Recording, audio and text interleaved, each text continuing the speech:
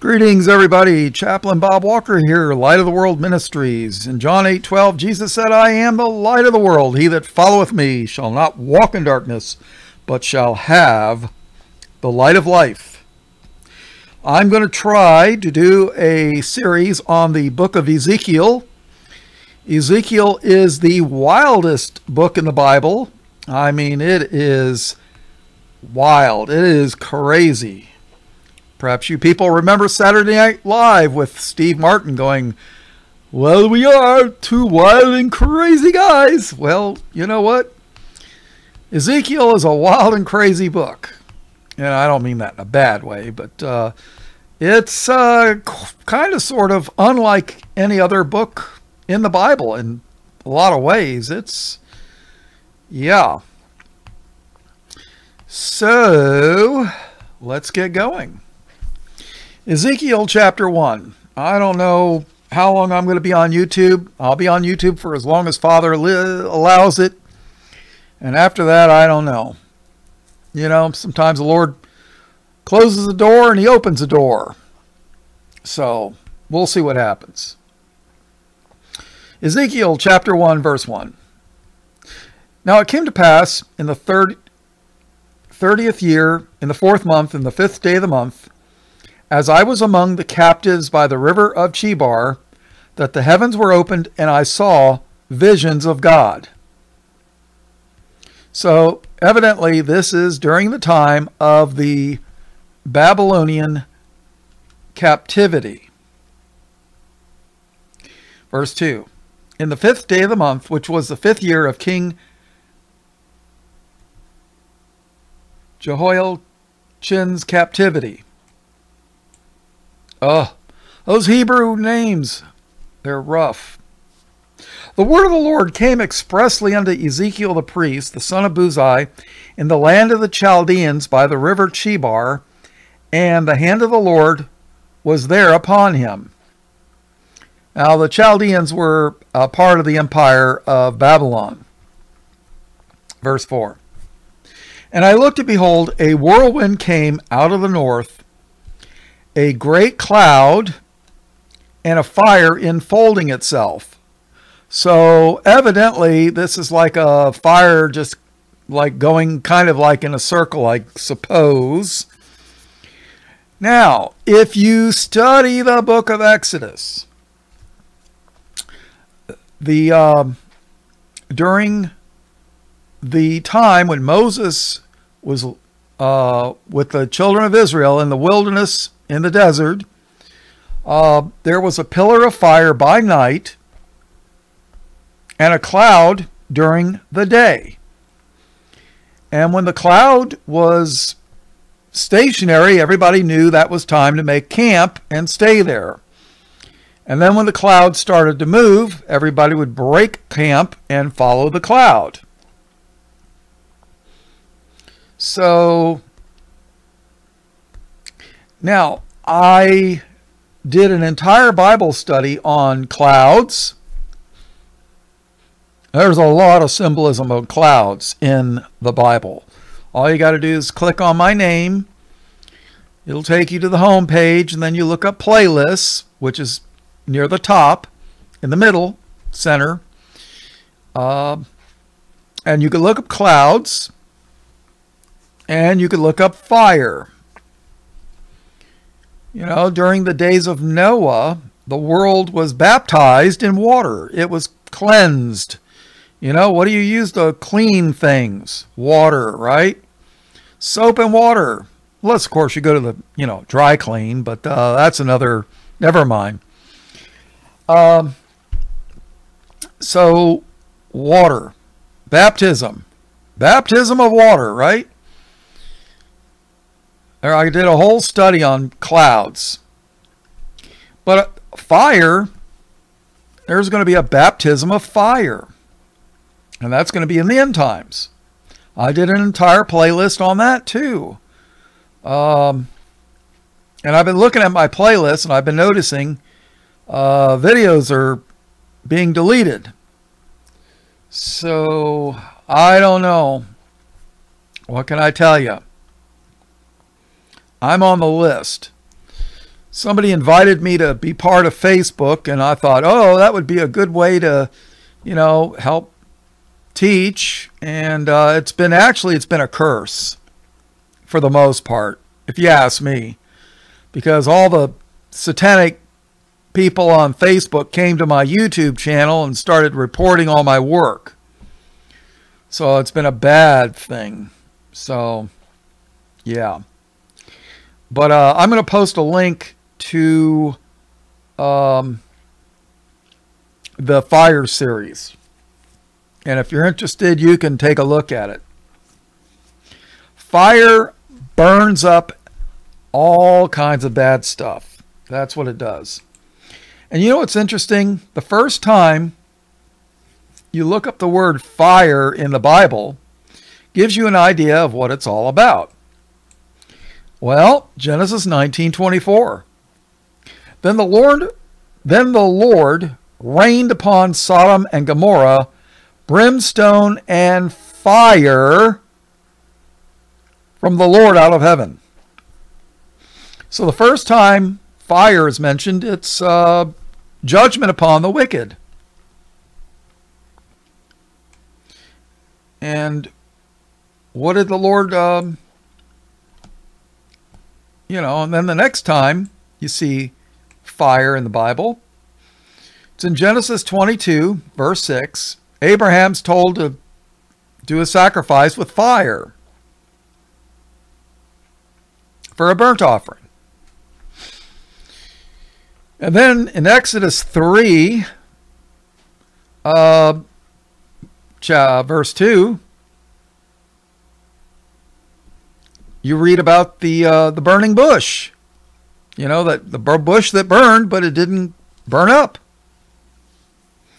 It says, "And the angel of the Lord appeared unto him in a flame of fire out of the midst of a bush, and he looked, and behold, the bush bush the bush burned with fire, and the bush was not consumed."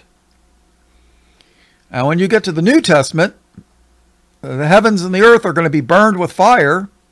Matter of fact, believers are going to have a baptism of fire. Oh, yeah. Where it's going to burn up our unfruitful works. But that doesn't mean we're going to be, um, we're not saved. Uh, the wicked will be burned, but uh, believers are going to be tried with fire also.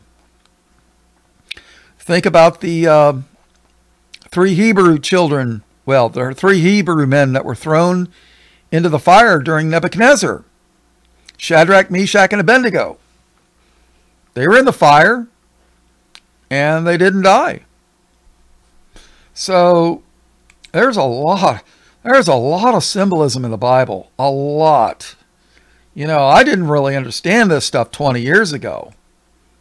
But uh, every time I do a Bible study, I find something new, it seems like. All right, so uh, let's see. So Ezekiel 1 4. And I looked, and behold, a whirlwind came out of the north, a great cloud, and a fire enfolding itself, and a bright and a brightness was about it, and out of the midst thereof, as the color of amber, out of the midst of the fire. Also out of the midst thereof came the likeness of four living creatures. And this was their appearance. They had the likeness of a man. And everyone had four faces, and everyone had four wings.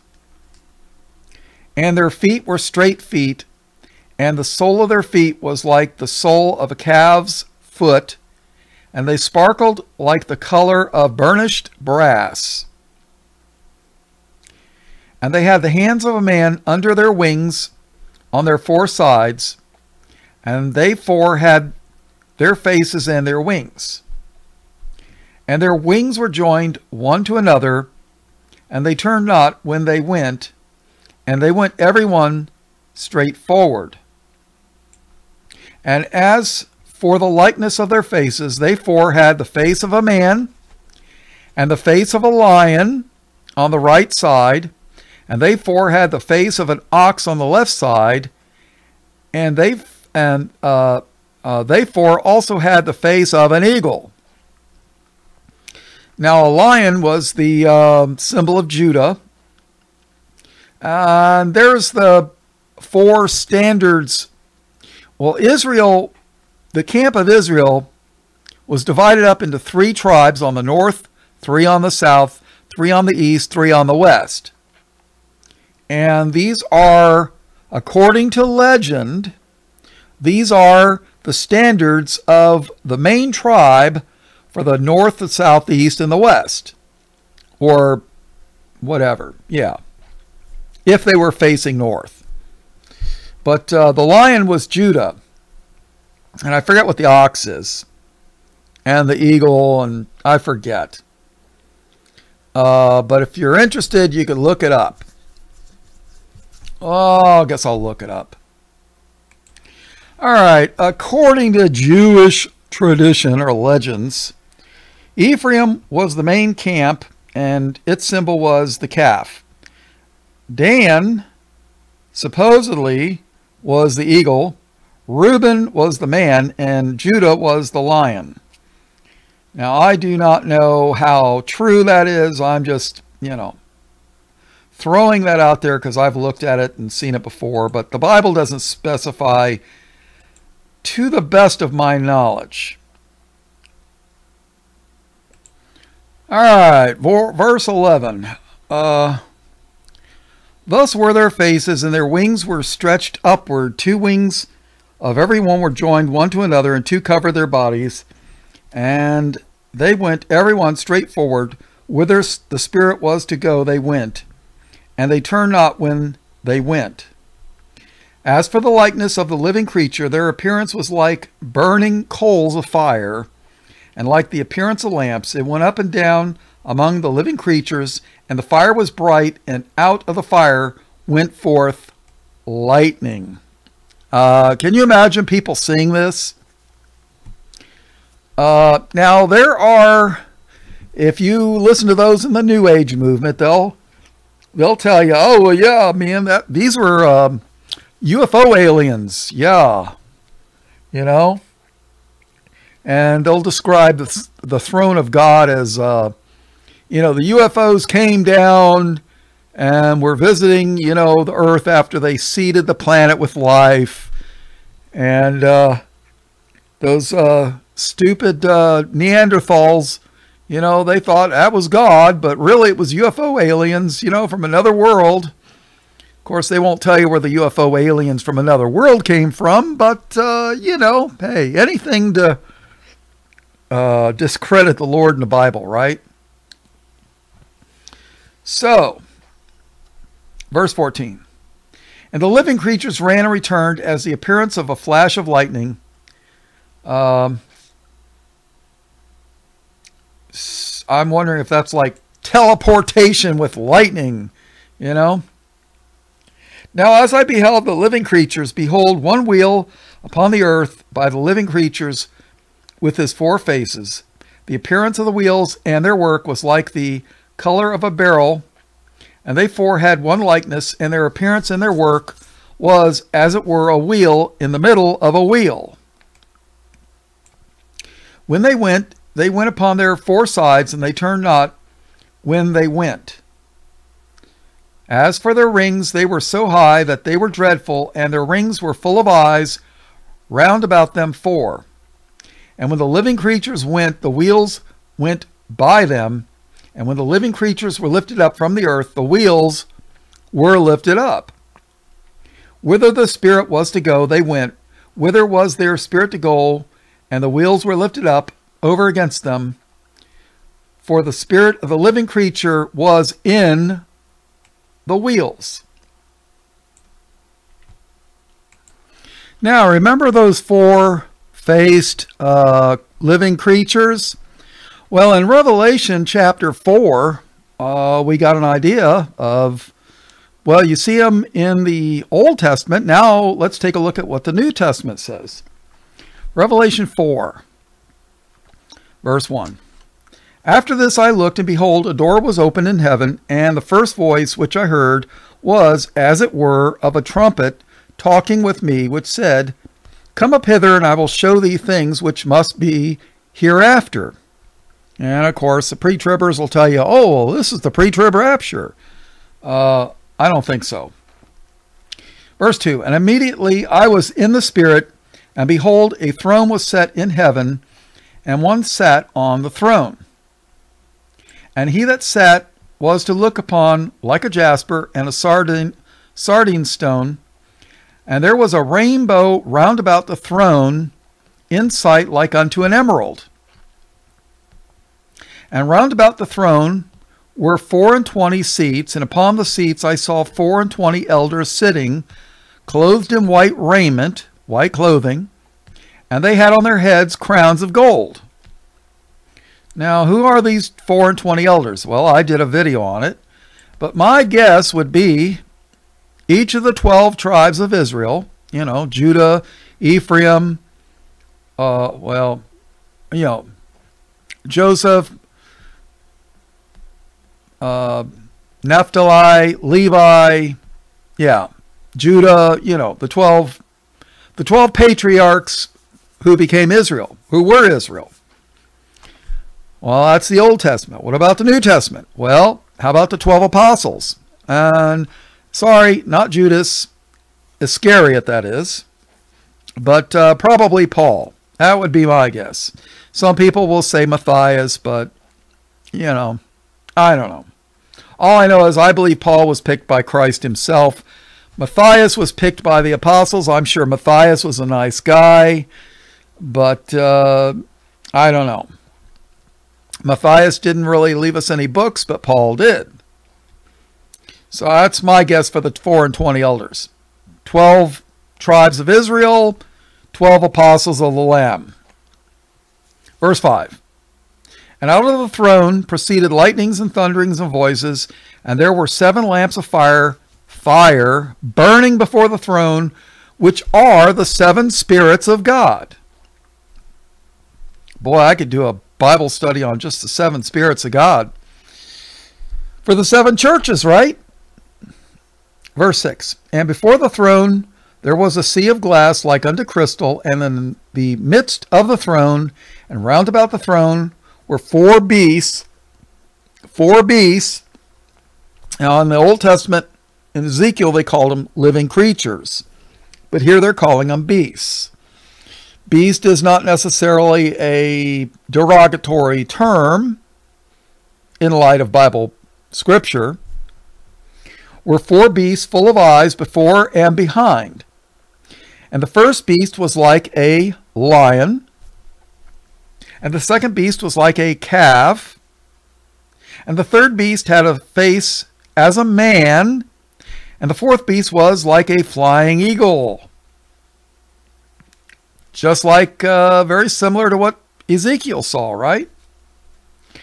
Verse 8 And the four beasts had each of them six wings about him, and they were full of eyes within, and they rest not day and night, saying, Holy, holy, holy, Lord God Almighty, which was and is and is to come. Why holy, holy, holy? Father, Son, Holy Spirit. And you'll meet people that'll tell you, oh, the Trinity is a false doctrine. Well, I don't like the word Trinity. It's not in the Bible. But the word Godhead is. And Jesus was in 1 Timothy 3:16 it says God was manifested in the flesh. Jesus had to be God.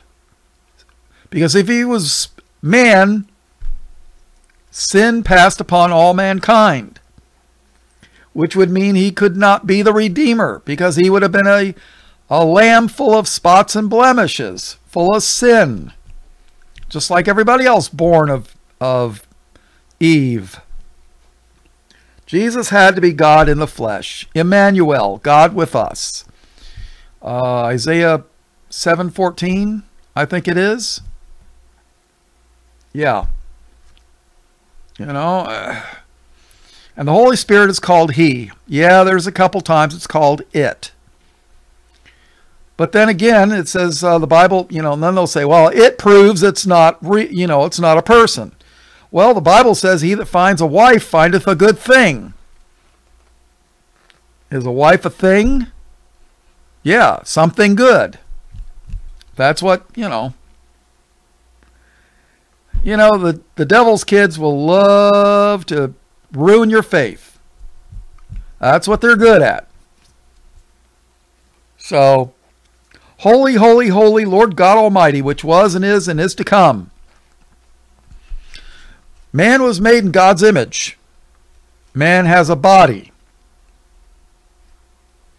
Man has a soul. Man has a spirit. If you believe the Bible, body, soul, and spirit, three parts make up one person. A trinity, right? And people say, oh, no, I don't believe that. Well, then you only have a body, and when you die, you die. That's it. You're just like a plant that died. You go to the ground, the worms eat you, that's it. It's over for you. You don't have a soul and spirit. See, there's a lot of devil people in this world. Honestly, I think there's a lot more devil people than there are sheep. Holy, holy, holy Lord God Almighty, which was and is and is to come.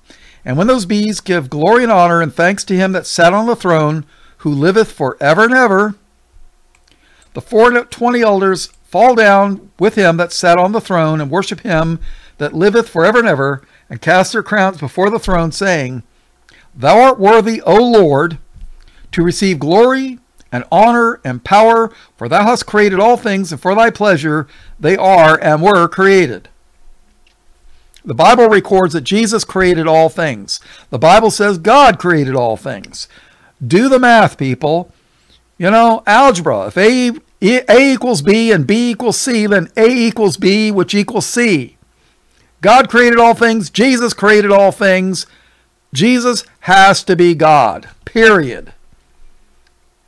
All right, let's go back. All right, back to Ezekiel 1, verse 20. Whithersoever the Spirit was to go, they went. Whither was their spirit to go? And the wheels were lifted up over against them, for the spirit of the living creature was in the wheels. When those went, these went, and when those stood, these stood, and when those were lifted up from the earth, the wheels were lifted up over against them, for the spirit of the living creature was in the wheels. Remember, they had four faces, right? And the likeness, verse 22, and the likeness of the firmament upon the heads of the living creatures was of the color of the terrible crystal stretched forth over their heads above, and under the firmament were their wings straight, the one toward the other. Every one had two, which covered on this side, and every one had two which covered on that side their bodies. And when they went, I heard the noise of their wings, like the noise of great waters, as the voice of the Almighty. Ooh. You know, the Bible says, records it when uh, the Lord spake, it was like the, the sound of many waters. Yeah. Revelation 1, verse 15, speaking of Christ and his feet like unto fine brass, as if they burned in a furnace, and his voice as the sound of many waters. Hmm, okay. Ezekiel 124. And when they went, I heard the noise of their wings, like the noise of great waters, as the voice of the Almighty, the voice of speech, as the noise of an host. When they stood, they let down their wings. And there was a voice from the firmament which was over their heads when they stood and had let down their wings. And above the firmament was that was over their heads was the likeness of a throne. A throne. Didn't we read about the throne in Revelation 4? Oh, yeah. As the appearance of a sapphire stone, and upon the likeness of the throne was the likeness as the appearance of a man above upon it. this is probably uh, Christ before he had a human body. My guess, my guess is that uh, Satan had dealings with Christ in his pre human form, and Christ probably pretended to be weak, you know, feigned weakness, which gave Satan the idea hey, I can. I can beat this guy. I can take his place, you know. Uh, sorry, Satan, but there was no job in the um, classifieds on the newspaper that said um, most high God position available, uh, inquire within. And it didn't happen. So, sorry, that position's been filled, no longer available. You're not qualified. All right, verse 27. And I saw as the color of amber, as the appearance of fire round about within it, from the appearance of his loins even upward, and from the appearance of his loins even downward, I saw, as it were, the appearance of fire, and it had brightness round about. Remember when uh, Christ went up to the mountain? I think he was with Peter and John, and they saw Elijah and Moses, and uh, Jesus glowed with brightness. Oh, yeah.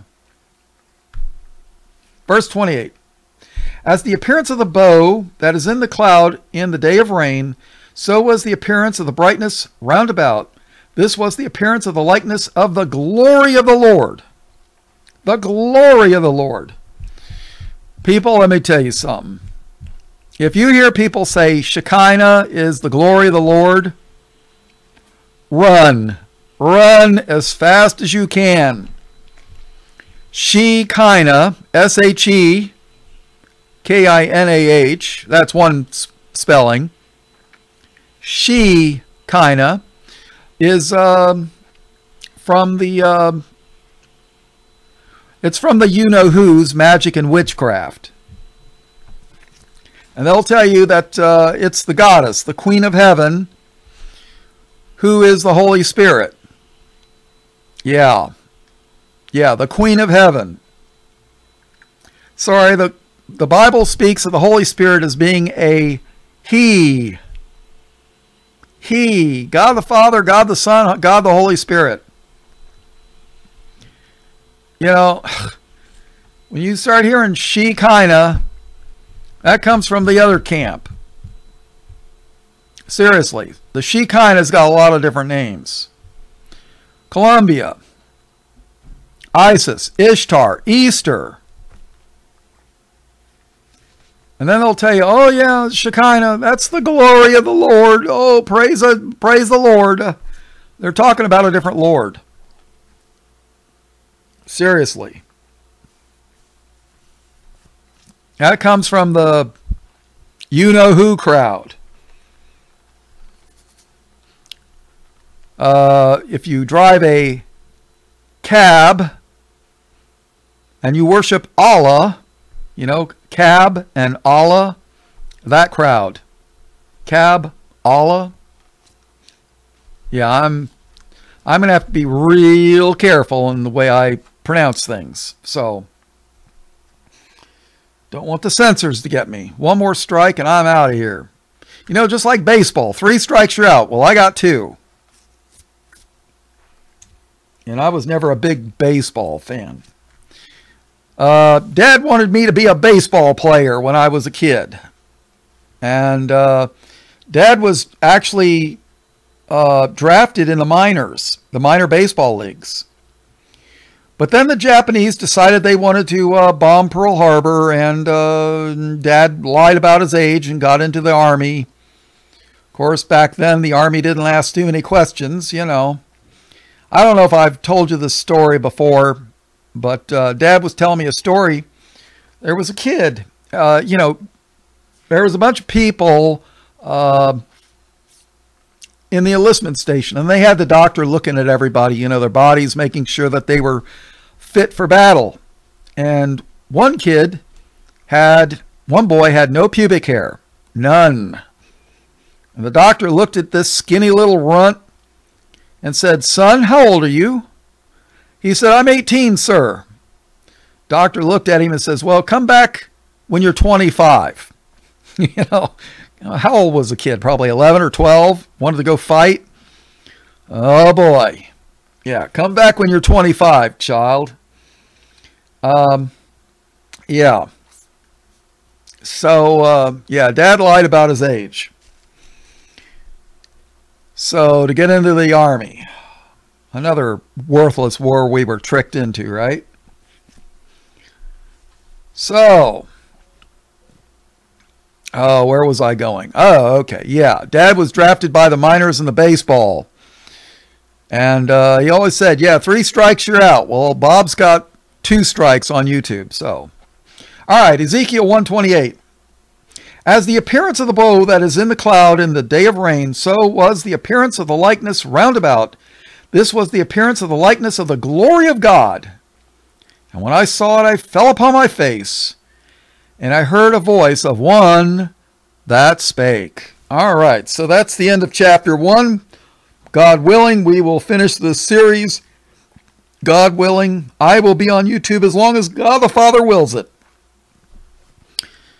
And when YouTube deletes me, I don't know if or where I'm going to go. Maybe the Lord will open a door. I don't know. What can I tell you? All blessing, praise, glory, and honor to God the Father and His only begotten Son, Jesus, who is the Christ, the Lamb of God, slain from the foundation of the world. All blessings, praise, glory, and honor in Jesus' name. Amen.